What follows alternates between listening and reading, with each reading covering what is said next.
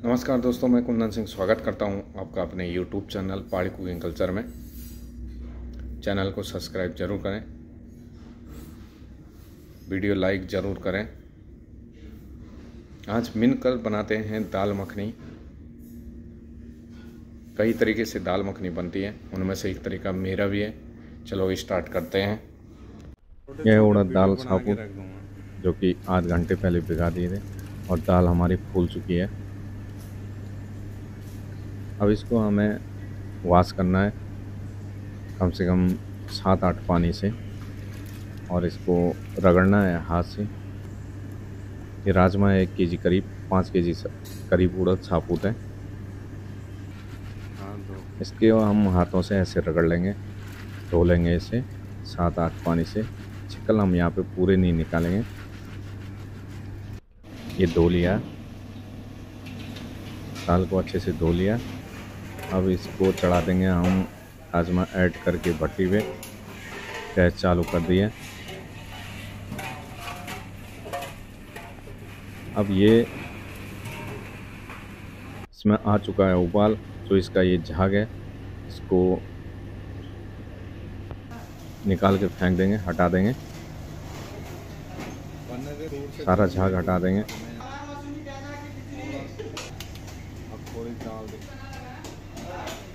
इसमें ऐड करूँगा मैं ये खड़े मसाले की पोटली।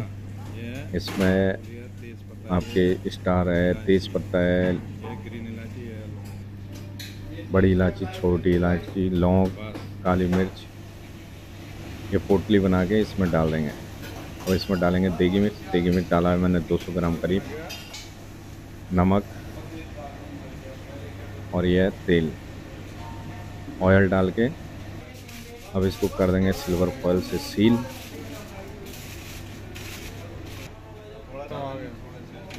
इसको सील कर दिया है।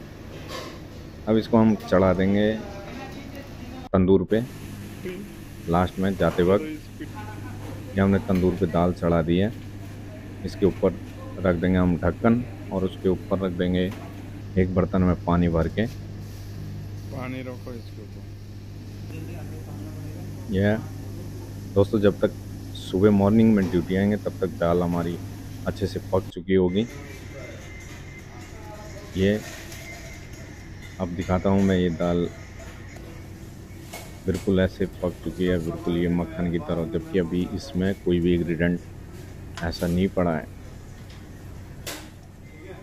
अब इसको, वैसे तो ये भुटी हुई है, हल्का से घोट लेंगे और उसके बाद आती है इसमें तड़का मारने की बारी। दाल परफेक्ट पकी हुई है। ज़्यादा घोटने की भी इसमें कोई ज़रूरत नहीं है।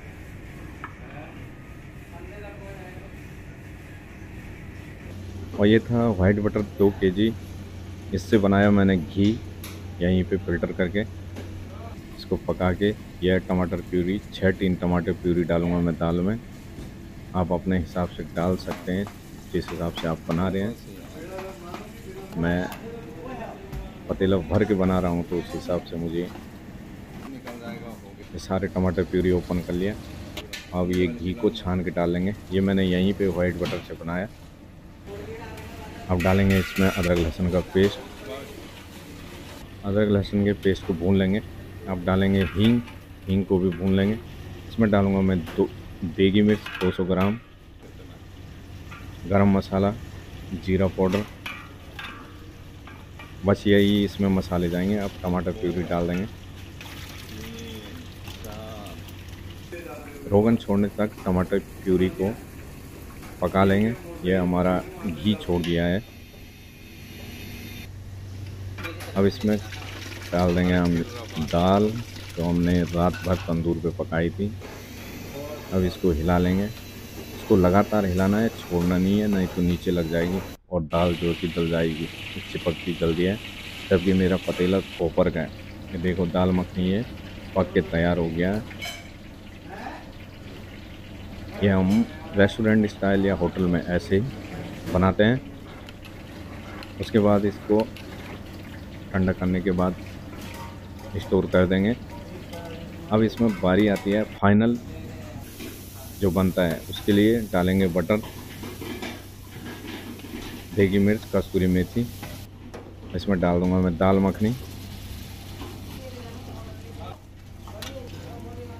और हल्का सा नमक टेस्ट के अनुसार। जीरा पाउडर, गरम मसाला और यह है फ्रेश क्रीम यह हमारी दाल मखनी तैयार हो चुकी है। Thank you so much channel को ज़रूर सब्सक्राइब करें लाइक करें शेयर करें। फिर मिलते हैं नेक्स्ट वीडियो में।